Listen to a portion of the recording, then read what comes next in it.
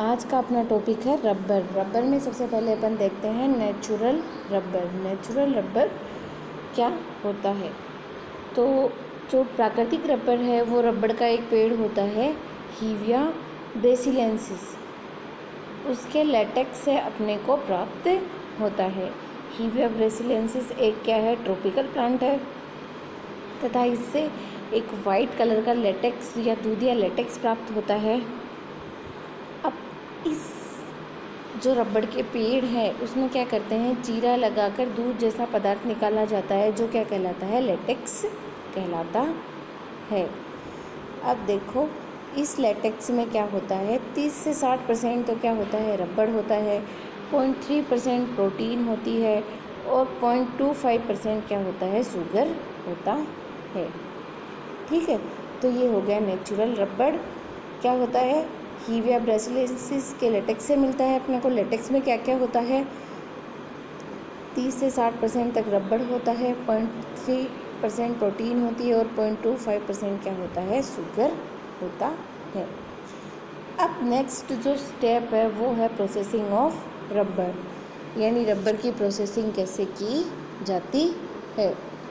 सबसे पहले क्या करते हैं? जो लेटेक्स अपने को मिला है, उसको क्या करेंगे? सबसे पहले टंकियों में उसको क्या कर लिया जाता है? भर लिया जाता है। फिर उस लेटेक्स में क्या मिला दिया जाता है? उस लेटेक्स में फिर पानी मिला दिया जाता है। पानी मिला के उसको क्या करेंगे? थोड़ा सा तनुकृत करेंगे। अब तनुकृत करने के बाद क्या मिला देते हैं? फॉर्मिक एसिड या एसिटिक एसिड मिलाकर क्या किया जाता है? उसको स्कंदित किया जाता है। स्कंदित करने से सीरम तो नीचे रह जाता है। और जो स्वीट ढीला डाला पदार्थ होता है कोएगुलम वो क्या होता है? सतह पर ऊपर आ जाता है। सतह पर ऊपर आ जाता है। कुछ समय पश्चात टंकियों में रबड़ की स्पंजी पट्टियाँ उड़ जाती हैं। पट्टियों को रोलर के बीच दबाकर उनकी, उनसे क्या निकाल लिया जाता है? जल उनसे निकाल लिया जाता है तथा जो अपने को कोएगुलम मिला है, उसको अलग अलग आकार में, विभिन्न आकार में अपन चेंज कर लेते हैं। रबड़ को फिर क्या किया जाता है? सुखाया जाता है। सुखाने के भी दो तरीके होते हैं। एक तो स्मोक में और दूसरा अपन क्या करें? जो वायु है, उसमें शुष्क करें। लेटेक्स जो मिल गया, जो नीचे जो पदार्थ बचता है, उसको क्या कहते हैं? सीरम कहते हैं। यानी इस प्रोसेस में क्या होता है? सबसे पहले अपन क्या कर लेते हैं? लेटेक्स में टंकियों को क्या कर लिया जाता है? भर लिया जाता है। फिर उसमें क्या मिलाएँगे? जल मिलाएँगे। जल मिलाने के बाद उसमें क्या मिलाएँगे? फॉर्मिक एसिड या एसिटिक एसिड मिलाते हैं, जिससे वो क्या बन जाता है? कोएगुलम बन जाता है। कोएगुलम बनने के पश्चात रबड़ हैं, वो स्पंजी पट्टियाँ बन जाएँगी। उसके बाद स्पंजी पट्टियों को क्या कर लेते हैं, रोलर के बीच में दबाकर उनमें से क्या निकाला जाता है? जल निकाल लिया जाता है। फिर उनको अलग अलग शेप दे दी जाती है। अब उसको क्या किया जाता है? सुखाया जाता है। दो तरीके हैं, या तो स्मोक में, या क्या करें एयर में उसको सुखाएँ। जो लेटेक्स के स्कंदन के पश्चात जो नीचे जो पदार्थ बचता है, वो क्या कहलाता है? सीरम कहलाता है। अब देखो, जो अपने को लेटेक्स से जो रोलर में आकार ढलने के पश्चात जो रबड़ बचा है, उसको सुखाने के दो तरीके हैं। पहले अगर धुएँ से उसको सुखाते हैं तो उसको क्या कहते हैं? स्मोक्ड रबड़। इसमें क्या करते हैं? जो स्कंदित रबड़ की पट्टियाँ हैं, उसको किसमें ले जाते हैं? स्मोक हाउस में ले जाते हैं। तथा स्मोक हाउस में ले जाने के बाद क्या करते हैं? जलती लकड़ी या नारियल की छाल से उसको 50 डिग्री पर क्या करते हैं? शुष्क करते हैं, जिससे उसका कलर क्या हो जाएगा? ब्राउन कलर हो जाएगा। तो इस प्रकार के रबड़ को क्या कहते हैं? स्मोक्ड रबड़। ठीक है, अब धुएँ के कारण इसका कलर क्या हो जाता है? भूरा हो जाता है। तथा जो ब्राउन मार्केट में जो ब्राउन रबड़ अपने को मिलता है, वो कौन सा रबड़ होता है? स्मोक्ड रबड़ होता है। नेक्स्ट जो रबड़ होता है, वो होता है क्रैप रबड़। क्रैप रबड़ में अपन क्या मिला देते हैं? स्कंदन से पहले क्या मिला देते हैं? Sodium by sulphide sodium by sulphide मिला देते हैं। फिर उसको वायु में 50 डिग्री सेंटीग्रेड पर क्या किया जाता है? सुखाया जाता है। इससे कौन सा पदार्थ मिलेगा? पीला और येलो और वाइट कलर का जो अपने को रबड़ मिलेगा, वो कौन सा रबड़ होता है? क्रैप रबड़। तो रबड़ के दो प्रकार अपन ने देख लिए, स्मोक्ड रबड़ और क्रैप रबड़।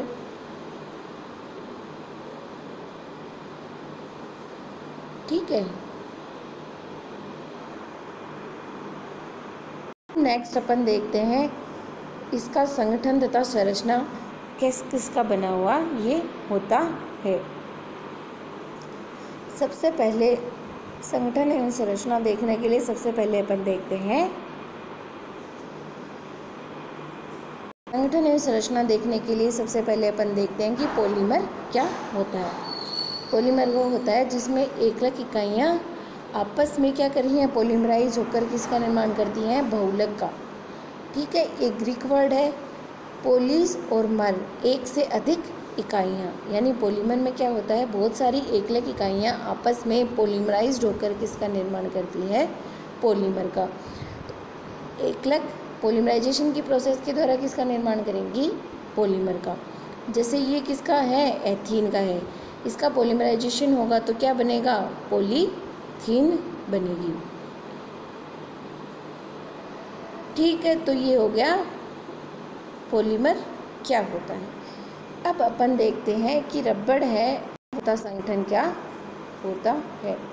प्राकृतिक रबड़ का संगठन होता है C five H eight N ठीक है?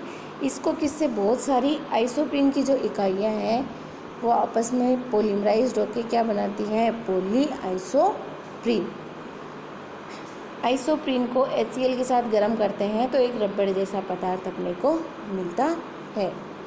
आइसोप्रीन का रासायनिक नाम क्या होता है या यूपीएससी नाम क्या होता है? इस पर टू पे मेथिल है। तो क्या हो गया? टू मेथिल और one three butadiene दो इन है। कौन कौन सी पोजीशन पे है? एक वन पे है, दूसरा किस पे है? थ्री पे है। तो आइसोप्रीन का यूपीएससी नाम क्या होता है? बहुत बार एग्ज़ाम में पूछ लिया जाता है। आई आइसोप्रीन का यूपीएससी नेम तो मैथिल कितने पे हैं? सबसे पहले इसकी नंबरिंग करेंगे. वन टू थ्री और फोर कितने नंबर कार्बन पे मेथिल है? दो नंबर पे. तो क्या हो गया? Two methyl one three butadiene इसको आइसोप्रीन भी कहते हैं. ये जब पोलिमराइज होगा तो क्या होगा? पोलिमराइजेशन की प्रोसेस में क्या होगा? ये वाला बॉन्ड कहाँ जाएगा? यहाँ चला जाएगा. ये वाला बॉन्ड दूसरी यूनिट में चला जाएगा. इस प्रकार पोलिमराइजेशन की प्रोसेस होगी। तो ये वाला बॉन्ड दूसरी यूनिट से अटैच होगा। ये जो था वो यहाँ आ गया, ये वाला आगे दूसरी यूनिट के पास चला गया। और क्या बन गया अपने पास? पोली आइसोप्रीन यहाँ जो एन अपन ने लिया है एन क्या है? दस हज़ार से लेके कहाँ तक होता है? बीस हज़ार तक। दस हज़ार से लेके बीस हज़ार तक जो आइसोप्रीन की यूनिट है, वो क्या बनाती हैं? पोली आइसोप्रीन या रबर अब है कि ये जुड़ती किस प्रकार है, उस पर भी डिपेंड करता है। अब देखो आइसोप्रीन की इकाइयाँ अगर सिस फॉर्म में जुड़ती हैं तो क्या बनता है? प्राकृतिक रबड़ बनता है। आइसोप्रीन की इकाइयाँ सिस फॉर्म में जुड़ती है तो क्या बनता है? प्राकृतिक रबड़ बनता है। देखो सिस फॉर्म में कैसे? कि ये सारे सी एस थ्री क्या हैं? एक साइड में हैं। और सारे हैवी ग्रुप्स क्या हैं? एक साइड में है, ये वाले ये वाले ये वाले। तो ये कौन सा फॉर्म हो गया इसका? सिस फॉर्म अगर ये इस प्रकार से पोलिमराइज होती हैं तो इसको क्या कहते हैं? ये क्या होता है? प्राकृतिक रबड़ होता है। ये एक को क्या मान लिया? एक मोलिक्यूल ये क्या हो गया? दूसरा मोलिक्यूल और ये क्या हो गया? तीसरा मोलिक्यूल अब ये तीनों मोलिक्यूल क्या हैं? आपस में सिस होम में है। सिस कैसे देखेंगे? इसका इसका हैवी ग्रुप अगर इसका, इस कार्बन का और इस कार्बन से अटैच हैवी ग्रुप अगर एक साइड में है तो क्या हो गए? सिस अगर ये अलग अलग साइड में है तो वो क्या हो जाएगा? ट्रांस इसका इसका हैवी ग्रुप क्या है? एक साइड में है तो सिस इसका और इसका हैवी ग्रुप एक साइड में है तो ये क्या हो गया? सिस तो इसको क्या कहेंगे? अगर ये इकाइयाँ सिर्फ़ फॉर्म में जुड़ती हैं तो इसको क्या कहेंगे? पोली आइसोप्रीन दूसरा, अगर देखो कि अगर ये इकाइयाँ क्या हो? अगर ये इकाइयाँ किस फॉर्म में जुड़ें? अगर ये इकाइयाँ ट्रांसफॉर्म में जुड़ती हैं तो उसको क्या कहते हैं? गुट्टा पर्चा. ट्रांसफॉर्म में जुड़ती हैं तो उसको क्या कहते हैं? गुट्टा पर्चा. ये क्या है? ये भी एक जो सेप्टेसी क्लास है, उस प्लांट की जो लीव हैं, उनके, उनका एक्सट्रैक्ट होता है, ये रबड़ की तरह ही होता है। इसमें क्या होता है? ये देखो, ये दोनों कार्बन अपन ने ले लिए, ये वाला कार्बन ये वाला कार्बन अब ट्रांसफॉर्म कैसे देखेंगे? इससे अटैच ये हैवी ग्रुप है, इससे अटैच ये हैवी ग्रुप है। दोनों ग्रुप हैवी ग्रुप दोनों तो भारी ग्रुप हैं, वो आपस में किस पोजीशन पे है? ट्रांस पे। इसी प्रकार इस वाले कार्बन और इस वाले कार्बन की देखेंगे तो ये वाला और ये वाला, दोनों किस फॉर्म में है? ट्रांसफॉर्म में है। इस वाले कार्बन की देखेंगे तो इस वाला हेवी ग्रुप और इस वाला हेवी ग्रुप दोनों किस फॉर्म में है? ट्रांसफॉर्म में है। तो अगर आइसोप्रिन की इकाइयाँ अगर ट्रांसफॉर्म में जुड़ती हैं तो अपने को क्या मिलता है? गुट्टा पर्चा। ठीक है सिस फॉर्म में जुड़ती हैं तो प्राकृतिक रबड़ मिलता है। और ट्रांसफॉर्म में जुड़ती हैं तो अपने को क्या मिलता है? गुट्टा पर्चा तो ये अपना क्या हो गया? प्राकृतिक रबड़ क्या हो गया? कंप्लीट हो गया। प्राकृतिक रबड़ किसका बहुलक होता है? आइसोप्रिन का बहुलक होता है। ठीक है, बहुत सारी आइसोप्रिन की एक लगी इकाइयाँ जुड़ के पोली आइसोप्रिन बनाती हैं। पोली आइसोप्रिन में जो इकाइयाँ होती है, वो दस हज़ार से लेके कहाँ तक होती हैं? बीस हज़ार तक होती हैं। अब ये इकाइयाँ किस फॉर्म में जुड़ती हैं? सिस फॉर्म में जुड़ती हैं तो क्या बनता है? प्राकृतिक रबड़ बनता है। अगर ये इकाइयाँ ट्रांसफॉर्म में जुड़ेंगी तो क्या बनेगा? गुट्टा पर्चा बनेगा तो ये हो गया प्राकृतिक रबड़। अब पूछे कि प्राकृतिक रबड़ किसका बहुलक होता है? तो आइसोप्रिन का बहुलक होता है। आइसोप्रिन का आई नेम पूछे तो तो क्या हो जाएगा? Two methyl one three butadiene